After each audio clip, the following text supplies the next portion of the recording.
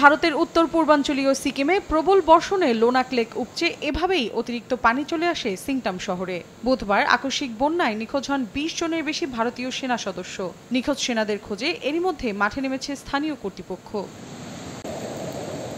এ বিষয়ে সেনাবাহিনীর পূর্বাঞ্চলীয় এক কমান্ডার জানান, উজান থেকে আসা ঢলে লাচেন উপত্যকার কিছু স্থাপনা ক্ষতির মুখে পড়েছে। চুংথাং বাঁধের পানি ছেড়ে দেয়ায় হঠাৎ করে তিস্তা নদীর পানি পনেরো থেকে বিশ ফুট বেড়ে যাওয়ায় পরিস্থিতি আরও অবনতির দিকে।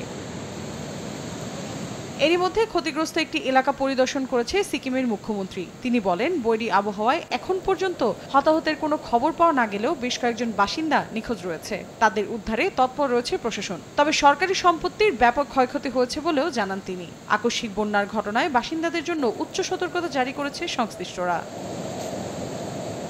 ভারতের আবহাওয়া অধিদপ্তর জানায়, সিকিমের চুংথাং হ্রদ উপচে পড়ায় তিস্তা নদীতে পানি বেড়েছে। এতে গজলডোবা, দোমোহনি, মেখলিগঞ্জ ও ঘিসের মতো নিচু এলাকাগুলো ক্ষতিগ্রস্ত হতে পারে। এদিকে চুয়াংথাং বাঁধের পানি ছেড়ে দেয় সিকিম ও পশ্চিমবঙ্গের মধ্য দিয়ে প্রবাহিত হয়ে তিস্তা নদী বাংলাদেশে প্রবেশ করায় বন্যা দেখা দিয়েছে উত্তরের জনপদে। মৌসুমী সাথী, সমর সংবাদ।